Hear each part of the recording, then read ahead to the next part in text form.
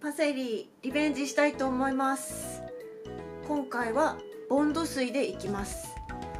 と一度洗濯のりと洗濯のりを水で溶いてえっとサラサラの水のりを作ったんですけどそれだとちょっと粘着力が接着力が弱かったのでやっぱり木工用ボンドでいきたいと思います。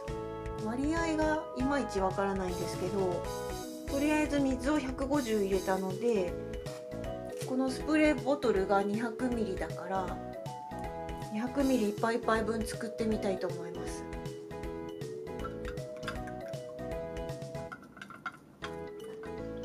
はい 200ml できました。しっかり混ぜてダマが残らないようにしてます。一応牛乳ぐらいです。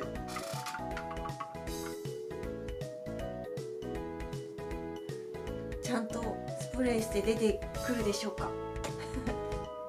と試し吹きあ出ますね。大丈夫そう。よし。じゃあちょっと後ろのわからないところで一回拭いてみようかな。この辺に行きます。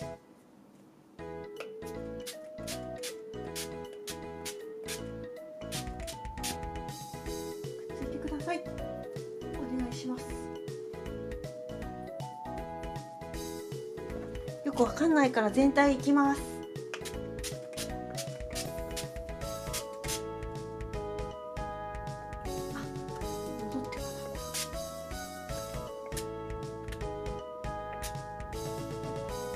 おっと早くもスプレーボトルが 悲鳴を上げている。あダメなのかな？硬すぎたかな。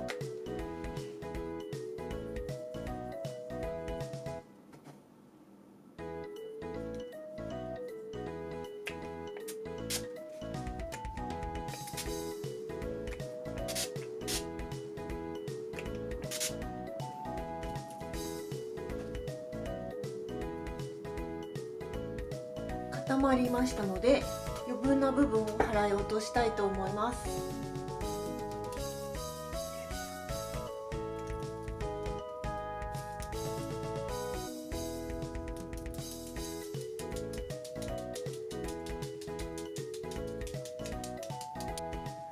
ぱり木工用ボンドは接着がしっかりしてるのかあのあんまり落っこちてこないですね。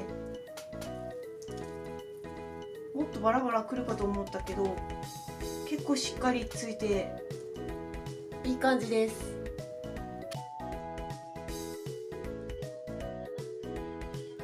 こんな感じでアルミワイヤーで一部だけ茎の太さを太くしました。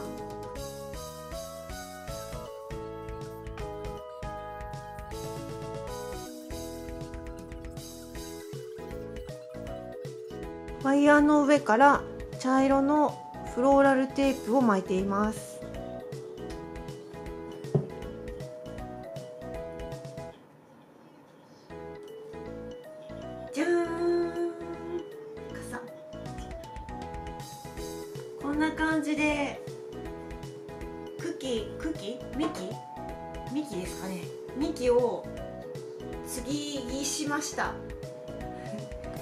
れで岩場の高さがこの筒と同じ高さなのでちょうど岩のところからこの木の枝のところが出てくるっていう高さになってます。はいそして久々に岩場の登場です。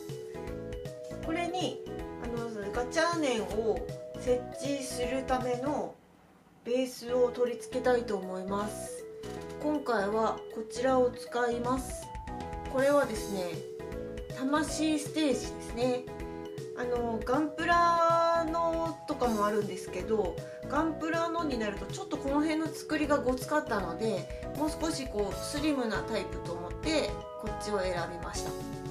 一応ですねこのスタイロの表面には木工用ボンドをあのコーティングのために塗って乾かしてます。なのでまあカチカチです。爪のあとは入りません。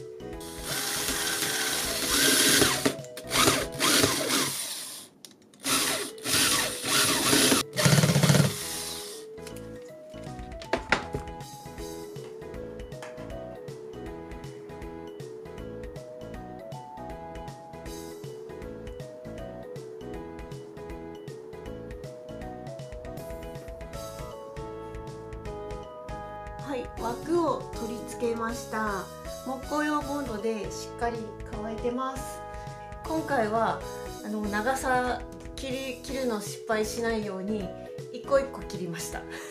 一個切っちゃくっつけてよし一個測って切っちゃくっつけてよしを やったので今回は大丈夫です。はい。そして次は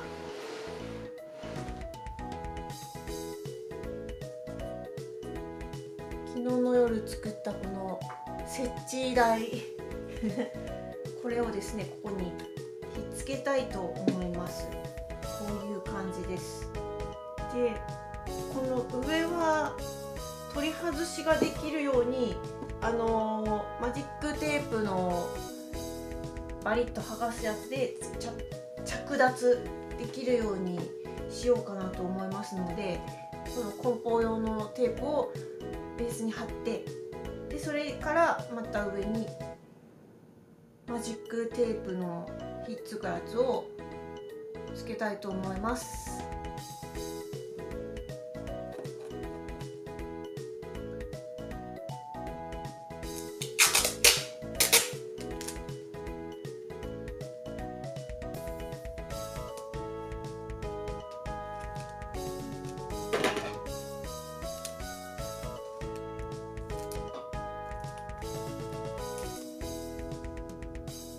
はいメインファスナーをあの何ですか？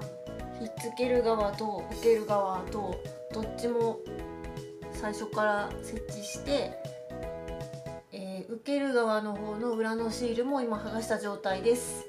これをこのセロハンの上にひっつけていきます。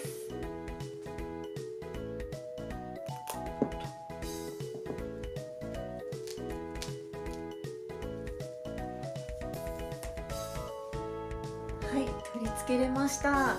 余談ですがこの金具なんですけど自分でこのグリッと曲がるサイズを調整できる金具をたまたまグッテで見つけてで色が3色あったんですよね。黒と,、えーと、銅と真鍮です。これは真鍮色。なんかアンティーク調の色が3色揃っていました。別にアンティーク調じゃなくてもよかったんですけどこのグリッとこう自由に曲がるやつがアンティーク調しかなかったので、まあ、なんかこれを選んだっていうだけで。この筒に合わせて、ま、こうなっている金具があれば一番良かったんですけどちょっと見つけきらなかったので自分でサイズ調整できる素材を使ってみました。はい。それでははい注目の方ですがこんな感じでえっ、ー、と前回の動画で見せた時はまだパセリを振るためにもうちょっと隙間を空けてたんですけどもう少し今度は設置用にこう針金なので全体を真ん中に集中させました。よりちょっとブロッコリー感が増したと思います。はい。で通常はこうやってあの岩場とは別々で保管したいと思います。でかすぎて置く場所が困るので。しょ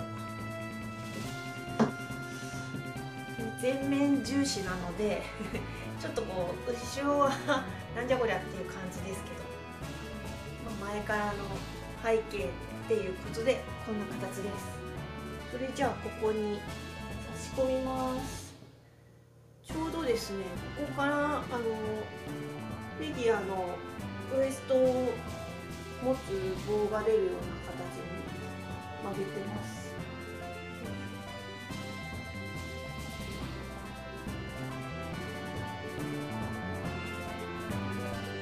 いかがでしょうか？このような形になっております。記念撮影したのかな？はい。そしてそして最後に彼らを乗せたいと思います。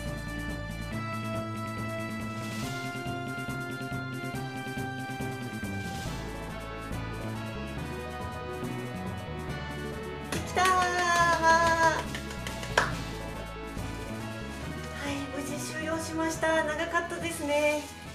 スタイロフォームの削りから始まりディープウォーターシステムを流し込みそしてパセリの脱色。はい。なんかトータルで半年はかかっただろうなと。思います。よかったです。でも できて。で思った通りの質感もこの樹木でパセリ使って出したので C プラン。成功です。わーい。まあマニアックにパセリ脱色する人なんかそうそういないと思うんですけどあの私が思うに結局パセリをミルサーで粉々にするんですけどマックス粉々にした時に合うスケールとしたらやっぱり35分の1ぐらいちっちゃめのスケールそれ以上のよりちっちゃいスケールじゃないと20分の1だとちょっとなんかもうちょっと葉っぱ大きくっていいのかなとか思ったりします。とりあえず本当に良かった。できた。終わりは見えなかったですけどね途中。は いこれでご飯もりもりいけます。はいというわけで次回もお楽しみに。バイバーイ。